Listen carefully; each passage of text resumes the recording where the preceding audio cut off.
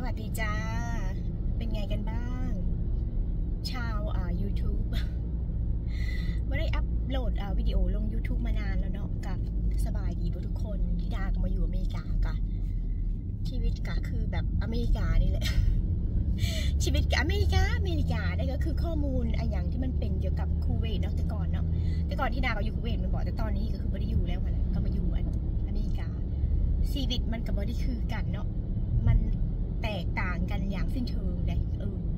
มาอยู่นี่ก็คือแบบค่อนข้างนะก็คือต้องเอาตัวรอดเนาะจากที่เป็นคนที่แบบ ไม่ทันอะไรแบบนี้นะว่าทันคนแบบนี้ก็คือ มันก็ต้องแบบเคอินอย่างอะก็คือต้องต้องให้ทันค่ะนะเออไปเหตุงานเนาะแต่ตอนนี้ก็คือกำลังจะไปเหตุงานเด้อก็ขับรถขับรถไปเหตุงาน ตอนนี้ที่อยากเหตุงานอยู่อเมซอนค่ะดีก็คือมันก็โอเคอยู่เพราะว่าาเกิดเท่าสิยุดแบบนี้เขาให้ยุดเนาะก็คือถ้าเกิดว่าเฮาเอ่อมีธุระมีอย่างแบบนี้นะ ก็คือแบบหัวหน้าเขาจะก็ให้ได้ก็จะให้แบบคือเขาจะให้วิดีโอเนาะเพราะว่างานที่ที่ดาเห็นเนี่ยคือมันเป็นงานแบบว่าไม่ได้เป็นเอ่อ full time นะของเฮานี่คือมันขึ้นเอ่อ part time แต่ว่ามัน 30 ชั่วโมงเนาะ30 ชั่วโมง